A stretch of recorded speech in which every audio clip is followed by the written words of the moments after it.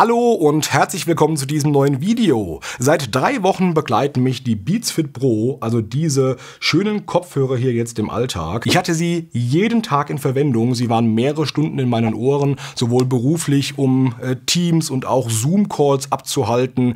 Da hat natürlich auch die Qualität der Sprachübertragung mit den integrierten Mikrofonen eine ganz, ganz große Rolle gespielt. Ich habe sie mit meinem iPad gekoppelt, um damit Filme zu schauen. Ich habe sie mit meinem Peloton-Bike gekoppelt, um wirklich Sport zu treiben. Das heißt, auch das Thema äh, Passform im Ohr und Kompatibilität mit Sportgeräten äh, konnte ich so ein bisschen testen. Sie waren mit meinem iPhone gekoppelt, um damit Musik zu hören. Ähm, ich hatte sie aber auch mit einem Android-Gerät gekoppelt, um ebenfalls ähm, ja einfach diese Erfahrung so ein bisschen mitzunehmen. Es gibt dazu sogar eine passende Beats-App und das ist der Riesenvorteil aus meiner Sicht eben von Beats, vor allem auch gegenüber den Original-Apple-Produkten, weil ich hier eine ordentliche Android-Unterstützung habe. In dieser App äh, kann ich im Grunde nahezu alle Funktionen, die mir unter iOS iOS zur Verfügung stehen, auch im Android-Bereich mitnutzen. Nicht komplett, aber wirklich die meisten dieser Dinge sind möglich und auch da werden wir gleich nochmal drüber sprechen. Das größte Thema für mich war ganz klar die Passform. Passform insofern, dass mir die AirPods Pro, die grundsolide Kopfhörer sind, wie ich finde, tolles Klangerlebnis, tolles Active Noise Cancelling, also man kann über die AirPods Pro überhaupt gar nicht meckern, wenn sie denn dann in den Ohren halten, weil das ist bei mir genau nicht der Fall. Ich kann tun, was ich will, wirklich verschiedene Größen von diesen Silikontips hier verwenden, äh, so langsam aber sicher, gerade wenn ich spreche und beim Telefonieren, das ist für mich ein häufiger Anwendungsfall, rutschen die so ein bisschen aus den Ohren raus und fallen sogar irgendwann runter, ist mir in Flugzeugen schon passiert und Dinge dieser Art, also das funktioniert alles nicht. Es ist einfach so, dass ich und ich weiß, ganz vielen von euch geht es auch so, nicht umfänglich glücklich mit diesen Teilen werden konnte, weil sie einfach nicht halten. Mittlerweile hat sie meine Frau im Einsatz. Deswegen habe ich ganz große Hoffnungen auf die Beats Fit Pro gesetzt, weil die eben Apple-Technologie mitbringen. Beats gehört ja mittlerweile zu Apple. Es ist parallel parallel eine Android-Kompatibilität gegeben und ich habe potenziell das Thema der Passform nicht mehr, weil das Design, also diese kleinen Wingtips, so bezeichnet Beats das, die sich in die Ohrfalte oben reinsetzen, eben verhindern, dass mir die Teile aus den Ohren rausfallen. Über diese Erfahrungswerte möchte ich gerne berichten, bevor wir dazu kommen, aber ganz kleiner Disclaimer. Die Kopfhörer wurden mir von Beats für dieses Video kostenfrei zur Verfügung gestellt. Ich wurde nicht bezahlt, ich wurde auch nicht inhaltlich beeinflusst. Der Hersteller hat das Video vor Veröffentlichung nicht gesehen. Das heißt, alles das, was ich hier sage, ist mein meine eigene freie Meinung. Ich möchte nur gerne sehr transparent mit dem Thema umgehen. Wir starten mal mit dem Thema Preis und auch Lieferumfang, weil damit steht und fällt ja ganz, ganz viel. Es ist so, dass die äh, Kopfhörer, so wie sie jetzt hier sind, in allen Farben habe ich auch gesehen, die gibt es also in weiß, schwarz, salbeigrau, hellviolett. Das hier ist, wie eben schon gesehen, die All-Black-Variante. Ich glaube, so rein privat würde ich vielleicht sogar auch in Richtung der weißen Beats schielen. Die gefallen mir ebenfalls sehr, sehr gut. Auf jeden Fall kosten die äh, zum Zeitpunkt des Videos 229,95 Euro bei Amazon.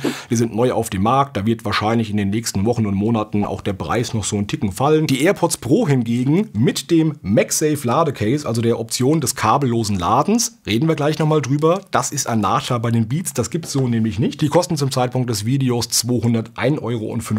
Sind also eine Ecke preiswerter. Die sind eben auch im Laufe der Zeit, die gibt es ja schon eine ganze Weile, äh, etwas gefallen. Da stellt sich natürlich schon die Frage, weil die jetzt auch mehr kosten, können die klanglich von dem Funktionsumfang und von all dem, was ich hier im Paket bekomme, da überhaupt mithalten. Wie gesagt, reden wir gleich drüber. Vom Lieferumfang her ist es so, ihr bekommt neben dem äh, Kopfhörer äh, das äh, Ladecase, in dem auch ein Akku integriert ist, genau wie bei den AirPods Pro. Und ihr bekommt zusätzlich neben den Original-Silikon-Tipps, die hier mit drauf sind, noch zwei weitere, also in zwei verschiedenen Größen mit dazu und ein ganz kleines Ladekabel, ein USB-C-Ladekabel, um die Kopfhörer bzw. das Case besser gesagt dementsprechend aufladen zu können. Wo wir schon beim Case sind, machen wir damit auch mal direkt weiter.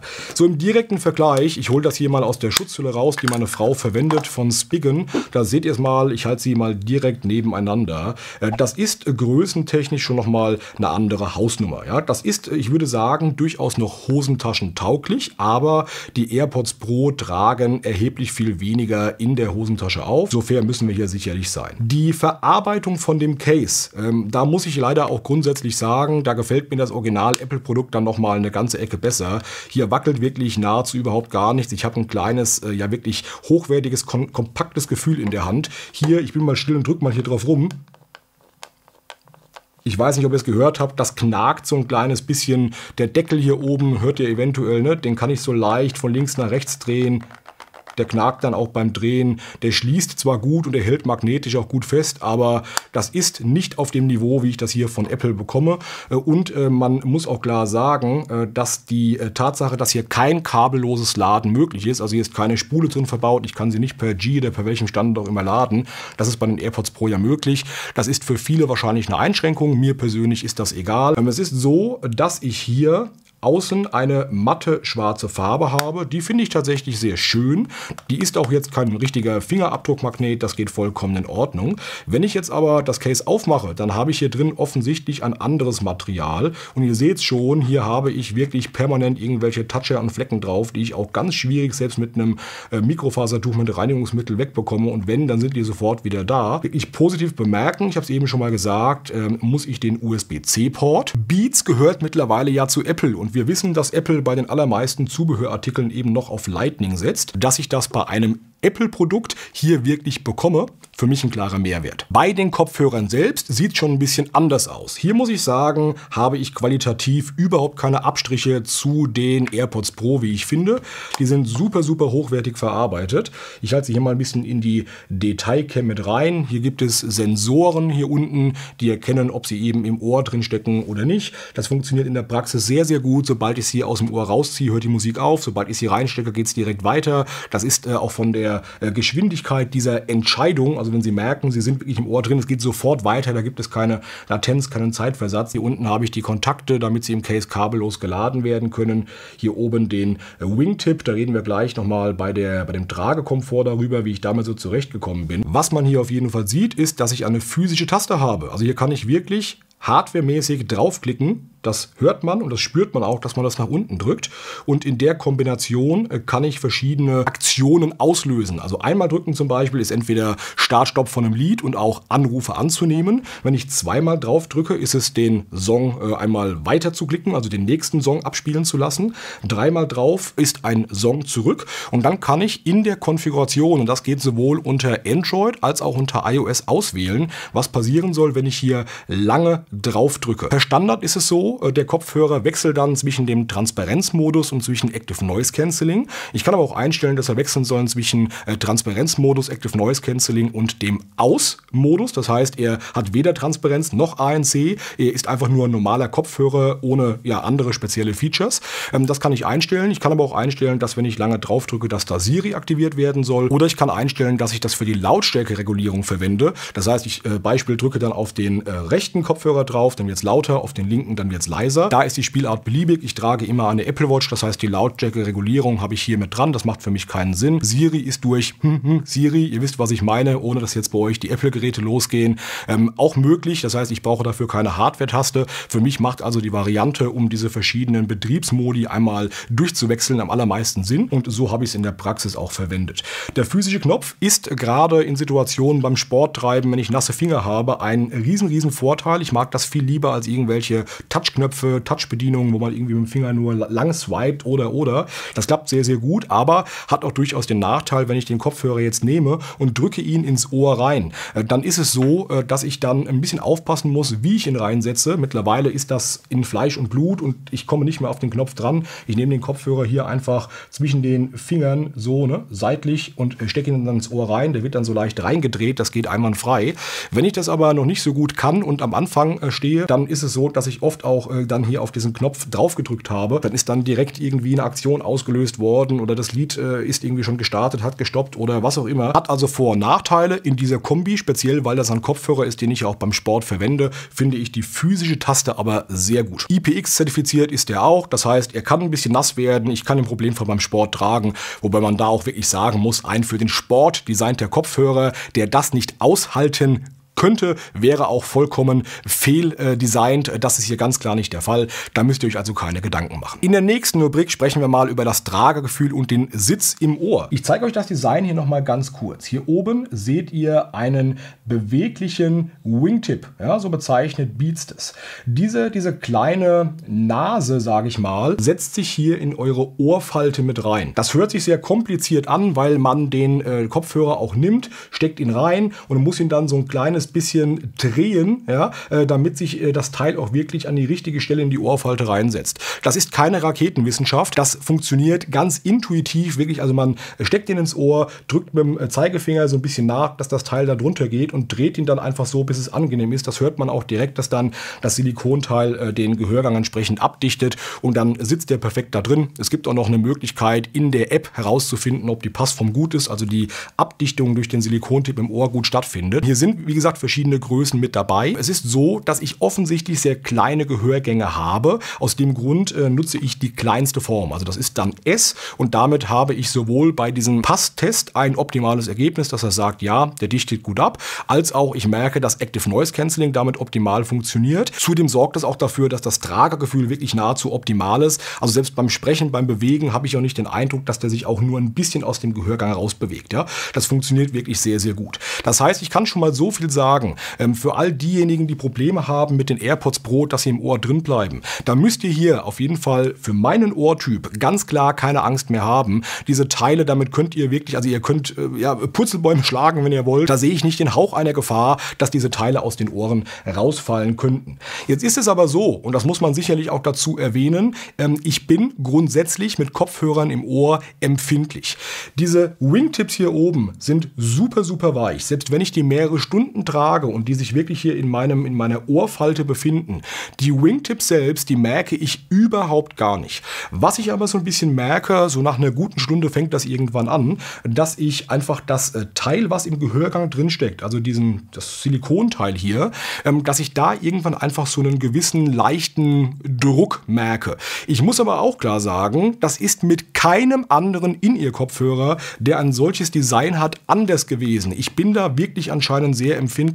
Das ist nicht äh, schlimmer als bei anderen Kopfhörern, die ich auch habe. Und es ist auch so, wenn ich das größere Tipp verwende in M oder in L, dann habe ich da ja nochmal mehr Silikon drumherum, äh, bis dann der harte Kern sozusagen kommt. Damit habe ich selbst festgestellt, ähm, dass das Gefühl im Ohr deutlich besser ist als mit der kleineren Variante, aber die kleinere passt halt ein bisschen besser. Ja? Das heißt, ihr könnt froh sein, wenn ihr einen größeren Gehörgang habt als ich, dann habt ihr mit Sicherheit auch einen besseren Tragekomfort, weil dieser Silikontip dementsprechend mehr äh, puffert, sage ich jetzt ganz einfach mal im Ohr. Aber nicht falsch verstehen, das geht vollkommen in Ordnung. Also es ist nicht so, dass ich nach einer Stunde sage, boah, ich muss die Teile jetzt rausnehmen. Es ist eher nach einer Stunde so, dass ich sage, ja, jetzt merke ich so ein bisschen, dass ich im Kopfhörer im Ohr habe, was vorher eher nicht der Fall ist, weil die Teile sind so klein und leicht und halten so gut hier drin, dass man das auch gar nicht so wirklich dolle merkt. In der nächsten Rubrik möchte ich gerne über den integrierten H1-Chip und die Kompatibilität mit Apple-Geräten sprechen. Es ist so, dass ich durch diesen H1-Chip ganz viele, ja, einfach Komfortfunktionen im Apple-Kosmos habe.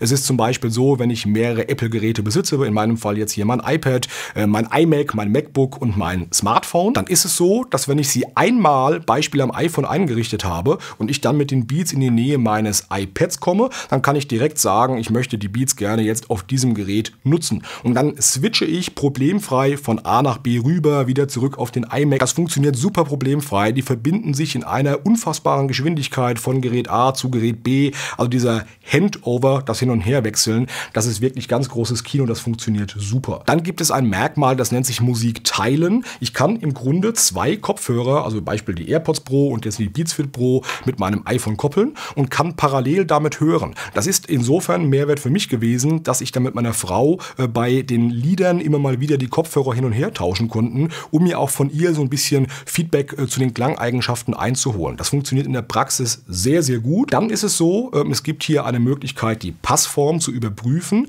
Ich zeige euch das hier mal ganz kurz in der App und zwar geht ihr hier in die Bluetooth-Einstellungen mit rein, wählt eure Beats Fit Pro aus und dann gibt es hier einen Passtest für Ohreneinsätze. Ja? Das heißt, ihr packt die Teile in die, in die Ohren rein, drückt dann auf diesen Passtest drauf, dann hört ihr so ein bisschen einen Ton, der abgespielt wird und danach sagt er euch dann perfekt, äh, die äh, ja, Tipps hier passen. Wenn er aber sagt, die Abdichtung ist nicht optimal, dann probiert ihr vielleicht mal eine Nummer größer, eine Nummer kleiner aus, bis das dann kommt. Und wie gesagt, genau das ist eben auch in der Android-App mittlerweile möglich. Es gibt ein äh, Feature, das hier implementiert ist und das ist so grandios, das könnt ihr euch gar nicht vorstellen. Das ist wirklich ein Au eine augenöffnende Situation.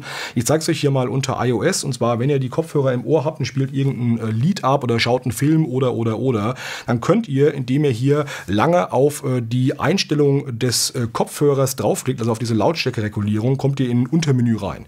Da habt ihr zum einen, da müssen aber beide für im Ohr sein, ähm, die Möglichkeit zwischen äh, Active Noise Cancelling hin und her zu schalten. Ne? Also jetzt der Transparenzmodus, jetzt höre ich mich selbst sprechen, ich kann das komplett ausschalten, beziehungsweise ich kann hier unten in die Geräuschunterdrückung mit reingehen, mit ANC. Ja? Jetzt äh, werden gänzliche Hintergrundgeräusche ausgeblendet. Das für mich Relevante, das kann ich jetzt leider aber erst dann abspielen, wenn ich irgendein Lied mal starte. Dann seht ihr jetzt, wenn ich hier drauf drücke, ich habe hier unten die Möglichkeit auf der rechten Seite zwischen ähm, Aus fixiert und äh, Kopferfassung zu wählen. Und das ist das sogenannte Spatial Audio.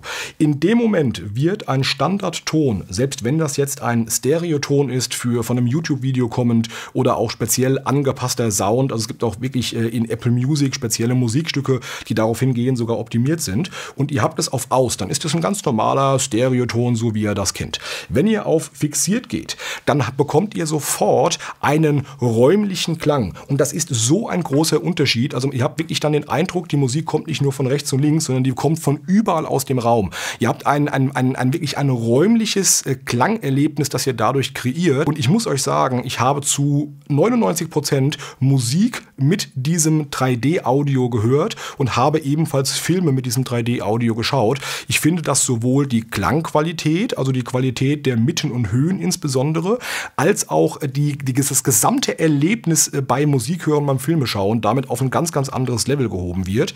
Ähm, es gibt, wie gesagt, die Option, das einmal zu tun ähm, auf Basis von äh, Kopferfassung. Ähm, heißt also, ich bewege meinen Kopf von links nach rechts und höre dann wirklich auch, wenn ich meinen Kopf nach rechts drehe, also mein rechtes Ohr nach vorne kommt, auf dem rechten Ohr den Ton dann plötzlich ein bisschen lauter. Also ich habe wirklich das, diese, diese Haptik damit verbunden. Ich bewege mich und höre in Richtung Musik. Ja, ganz toll.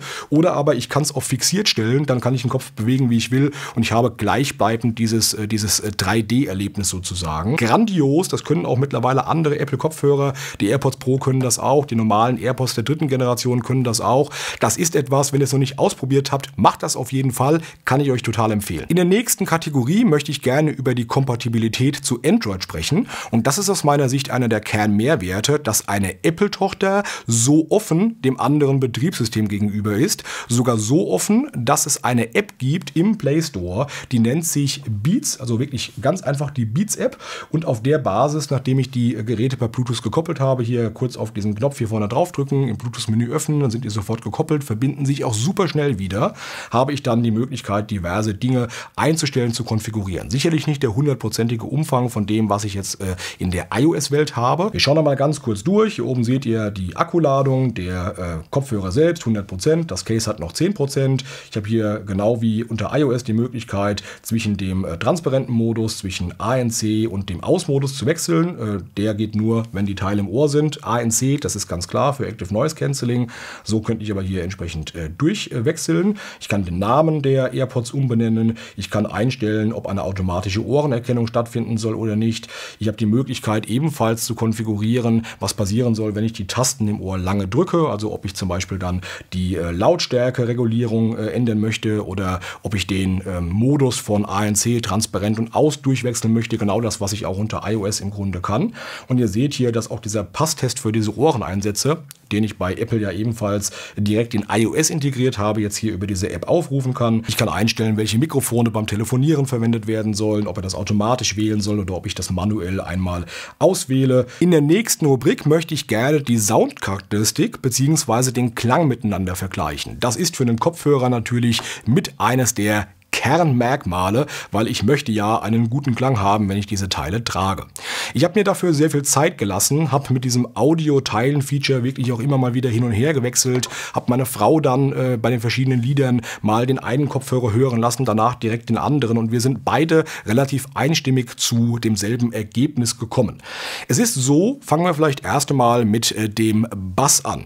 Die AirPods Pro sind, was das Thema Bass angeht, sehr viel neutral neutraler. Das heißt, wenn ihr viel Musik hört, wo eben eine Menge Bass drin vorkommt, Hip-Hop, äh, Techno, also wo wirklich die Basslastigkeit eine übergeordnete Rolle spielt, da merkt man ganz klar, dass die AirPods Pro sehr viel neutraler sind und einen ausgeglichenen Sound haben, also nicht so stark dieser, dieser Bass einfach im Vordergrund steht.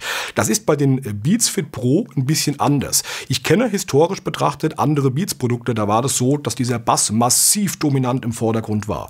Das ist nicht mehr so stark, wie ich das historisch jetzt im Kopf hatte, aber durchaus mehr, als das hier bei den AirPods Pro ist. Und Beats hat selbst in der Pressekonferenz auch irgendwann mal gesagt, das ist der Beats Signature Sound. Ich glaube, die wollen das wirklich ganz bewusst so abmischen, dass der Bass einfach eine etwas prominentere Rolle spielt. Vielleicht ist es auch ein Kopfhörer, der eher bei der jungen Generation äh, sehr gut ankommt, ja, weil ich glaube, äh, da hat man, da ist man einfach für sowas eher empfänglich und ab einem gewissen Alter potenziell, da mag es auch ganz viele Unterschiede geben, sagt man, hm, so ein, ich sag mal, äh, ein komplett durchgängiger, unmanipulierter Sound gefällt mir da vielleicht doch ein bisschen besser. Also das muss jeder selbst entscheiden.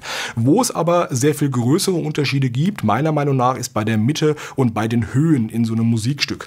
Wenn ich jetzt, ich sag mal, mit 50% Lautstärke höre, dann fällt das noch nicht ganz so stark auf. Wenn ich aber so ein bisschen lauter mache, irgendwann über die 80% Marke drüber gehe, dann habe ich den Eindruck, und meine Frau konnte das bestätigen, ähm, dass die Mitten und die Höhen bei den AirPods Pro einfach so ein Ticken klarer, so ein Ticken definierter, so ein bisschen runder und voller sind. Und hier hört sich das dann ab einem gewissen Lautstärke-Level eher so leicht also blechernd und scheppernd wäre der total überzogene, übertriebene Ausdruck dafür. Aber es geht einfach nicht mehr so in, diese, in dieses Detailreichtum rein, in diese Brillanz, in diese Klarheit mit rein, wie die AirPods das haben. Also ich würde durchaus sagen, die AirPods sind in Summe so ein bisschen äh, pegelfester. Also wenn sie lauter werden, behalten sie ihre Klangeigenschaften komplett bei. Hier habe ich beobachtet, wenn sie lauter werden, dann hört man irgendwann schon, dass gerade im, äh, ja, mitten in den Mitten und bei den Höhen ähm, dann da einfach so ein bisschen eine Veränderung Veränderung stattfindet in den leicht schlechteren Bereich. Aber bitte versteht mich da nicht falsch. Die beiden Kopfhörer sind so nah beieinander. Das ist wirklich eine Geschmacksfrage am Ende des Tages. Mag man eher den, den leicht basslastigen Sound oder mag man eher den neutraleren Sound mit den etwas ausgeprägteren Mitten und Höhen? Das ist wirklich ein sehr subjektives Thema. Ich kann euch ganz klar sagen, bei dem, was ich damit mache, ich höre zum Beispiel eher Hausmusik. Ja? Das ist äh, eher so meine Stilrichtung, wenn ich Musik höre. Ähm, da spielt der der Bass natürlich eine sehr, sehr große Rolle mit. In diesem Genre gefallen mir die Beats zum Beispiel sehr viel besser. Wenn ich eher äh, Musik höre, ein bisschen leiser, ähm, wo ja einfach die anderen Aspekte mehr zum Tragen kommen, wo ich auch deutlich mehr ähm, ja einfach Liedtext habe, den ich mir anhören möchte oder auch diese Feinheiten raushören möchte, Klassikmusik zum Beispiel und Dinge dieser Art, da würde ich mir vielleicht denken, da wird man mit denen eventuell so einen Ticken glücklicher als mit den Beats Fit Pro. Aber nochmal, das liegt sehr dicht beieinander und einen klaren Gewinner gibt es für mich nicht. Es sind eben, es spricht aus meiner Sicht einfach zwei unterschiedliche Zielgruppen, sage ich jetzt mal an. Wir machen direkt mal mit den verschiedenen Modi weiter und zwar speziell dem Active Noise Cancelling und dem Transparent-Modus. Wir fangen mal beim ANC, also Active Noise Cancelling an. Für die, die das nicht äh, kennen bzw. nicht ganz genau wissen, äh, was da überhaupt passiert, der Kopfhörer hat außenliegende Mikrofone und im Grunde hört er die ganze, die ganze Beschallung aus der Umgebung hört er sich an. Das heißt, wenn ich im Flugzeug sitze, sitze und dort ist eine Turbine, ja, mit einem wirklich monotonen, permanenten Brummen. Oder ich bin im Zug und da habe ich ja auch monotone, permanente Geräusche, die einfach stattfinden. Dann geht ihr hin und analysiert das wirklich in Echtzeit live und produziert dann im Ohr eine Gegenfrequenz, sodass die Störgeräusche im Grunde ausgeblendet werden. Jetzt ist es aber so, durch diese Verarbeitung, die da stattfindet und das äh, Produzieren der Gegenfrequenzen, habe ich oft auch die Situation, dass wenn ich sage, ich habe die im Ohr mit aktiven Active Noise Cancelling, Canceling und höre aber keine Musik, auch nicht leise oder gar nichts, ich habe die einfach nur stumm im Ohr, dann habe ich je nach Kopfhörer oft so ein leises Rauschen, sage ich jetzt mal. Das ist ein Effekt, äh, der eigentlich mehr oder weniger bei jedem Active Noise Cancelling Kopfhörer in dem Zustand mit da ist.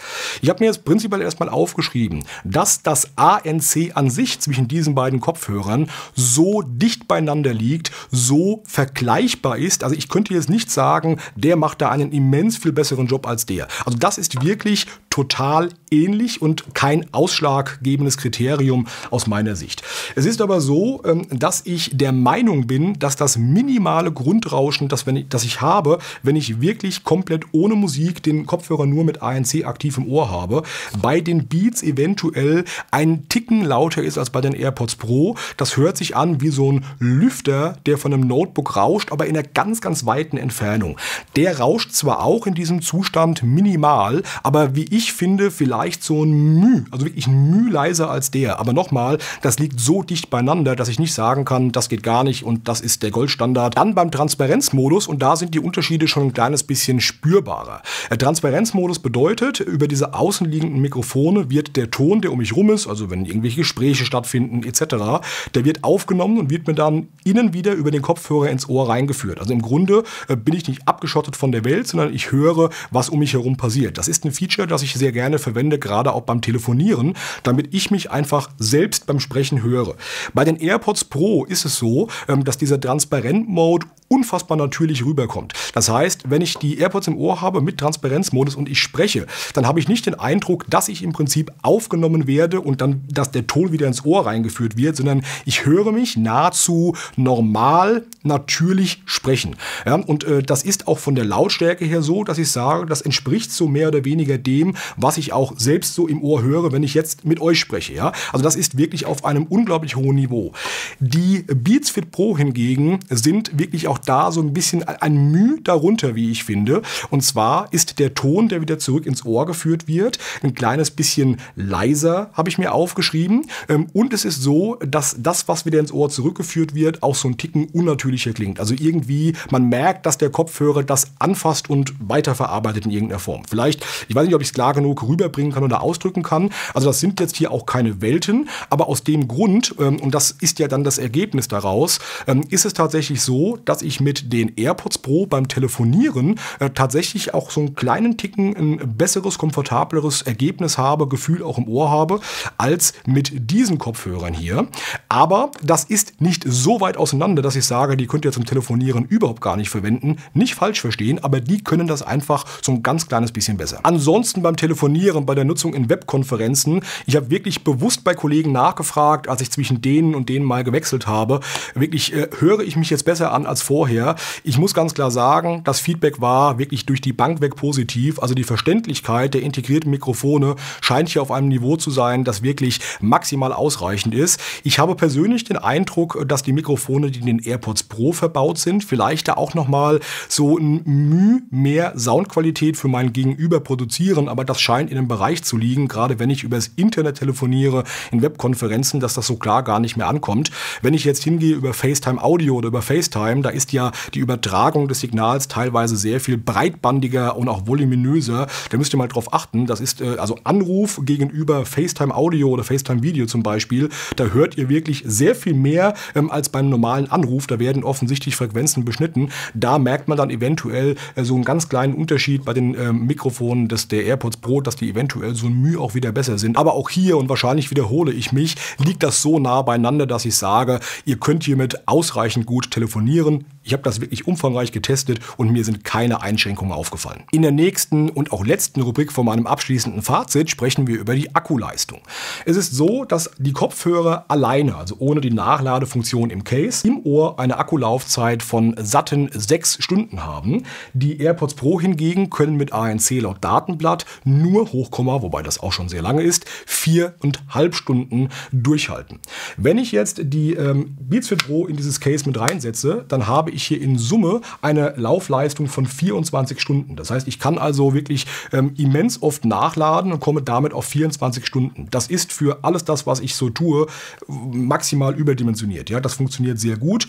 Leider schade, dass ich es nicht kabellos laden kann, haben wir eben schon drüber gesprochen, aber äh, grundsätzlich passt das erste Mal vollkommen. Die AirPods Pro können ebenfalls 24 Stunden laut Datenblatt durchhalten, aber sie müssen dann etwas häufiger wieder ins Case reingesteckt werden, eben zu 6 Stunden autark im Ohr, zu 4,5 Stunden autark im Ohr. Aber auch da muss ich sagen, bei dem, was ich damit mache, wäre das jetzt nichts, wo ich sage, das müssen die sein, das geht hiermit überhaupt gar nicht. Ähm, Situationen, wo ich wirklich vier Stunden am Stück einen Kopfhörer im Ohr habe, finden nahezu nie statt, selbst auf einem Langstreckenflug, ja, dann nehme ich sie zwischendurch immer mal kurz raus.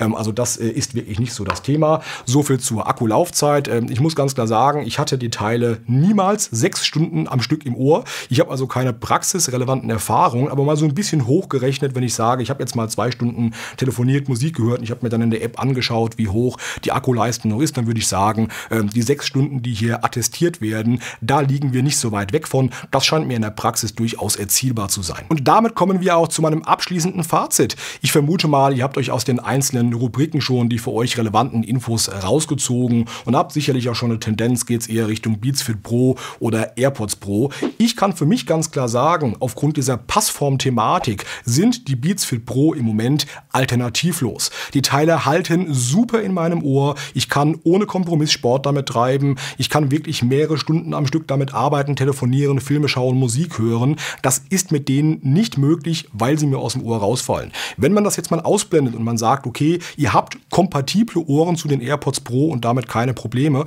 dann müsst ihr euch wahrscheinlich die Frage stellen, ähm, möchtet ihr einen eher etwas basslastigeren Sound haben mit dafür kleineren Einschränkungen in den Mitten und in den Höhen oder bevorzugt ihr einen etwas neutraleren Sound, aber dafür eben ja mit einer etwas geringeren Basslastigkeit? Äh, das entscheidet vermutlich auch so ein bisschen die Musikrichtung, die ihr präferiert hört. Ansonsten kann ich ganz klar sagen, wenn ihr sagt, ich suche wirklich einen Sportkopfhörer, unabhängig davon, ob die jetzt gut passen oder nicht, dann würde ich grundsätzlich sagen, sind die Beats Fit Pro in vielen Bereichen die bessere Option. Sie halten einfach nochmal deutlich sicherer. Auch die Möglichkeit, mit den Hardware-Tasten die Musik weiterzudrücken, empfinde ich gerade, wenn ich geschwitzt bin mit nassen Fingern, sehr viel angenehmer, als es jetzt hier mit diesen äh, Touch-Möglichkeiten an den AirPods Pro zum Beispiel ist. Von daher, ja, muss ich klar sagen, ich bin alternativlos. Von daher bin ich uneingeschränkt glücklich mit meinem Beats Fit Pro. Wenn ihr die Alternative aber habt, dann entscheidet wahrscheinlich eure eigene Präferenz, wie gerade eben besprochen, so ein bisschen, mit welchem der beiden Konzepte ihr